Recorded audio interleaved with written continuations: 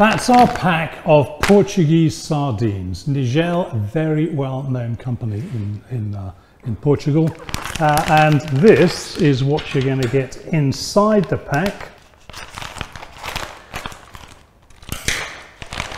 So let's have a look. There are 1, 2, 3, 4, 5, 6, 7, 8, 9, 10, 11, 12, 13, 14. That's about right. Sometimes there are 11, sometimes there are 15. Uh, and God, I'd almost like to eat that right now. But that is a very fine sardine, I can tell you. It's very simple to clean it out if you need to. Not everybody does. Uh, scrape off the scales if you want to. But most people will just defrost those, whack them straight down on their barbecue, turn them over after three minutes and scoff them after five.